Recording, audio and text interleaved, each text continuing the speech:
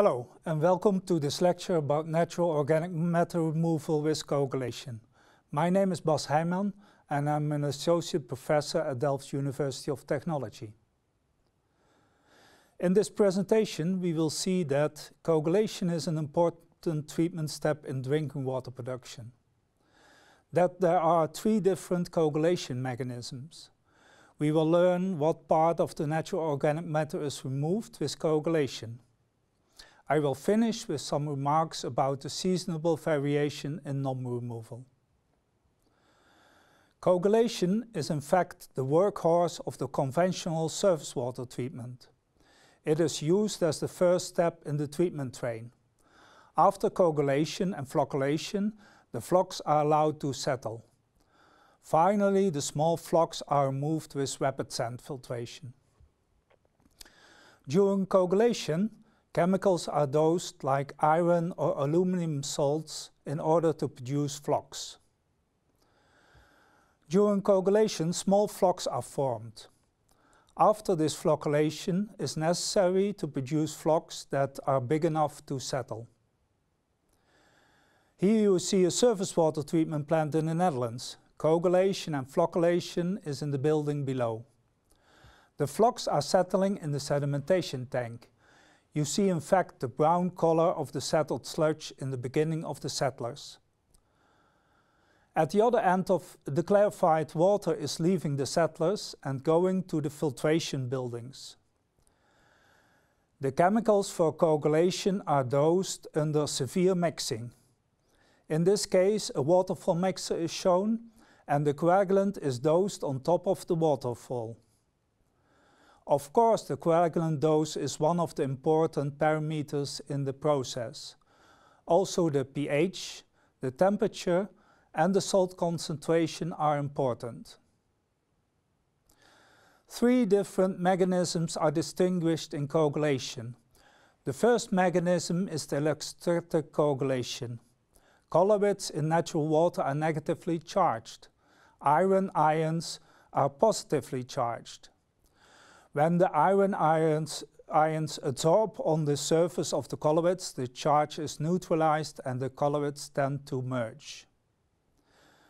The second mechanism is adsorption uh, coagulation. This is the most important mechanism for NOM removal.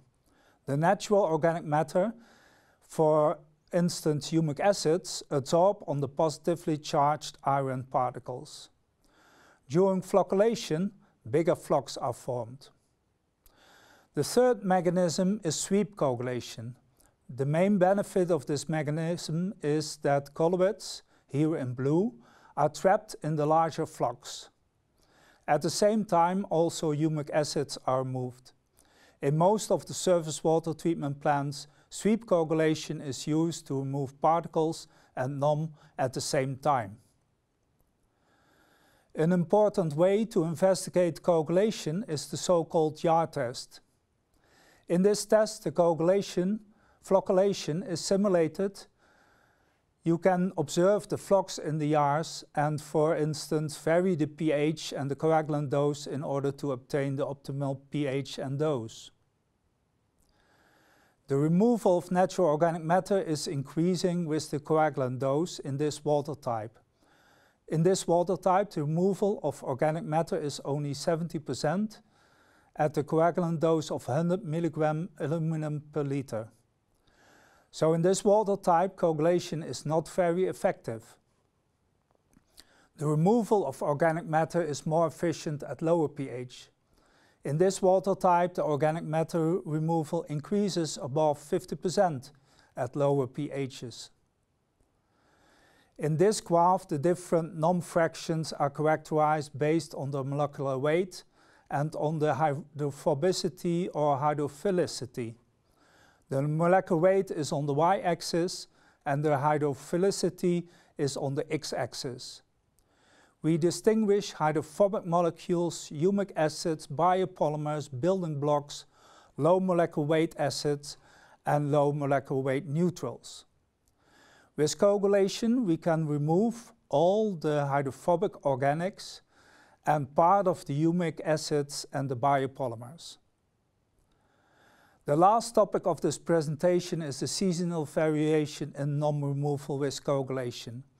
In this graph we observe that during the cold season more coagulant is dosed to get proper sized flocks to settle.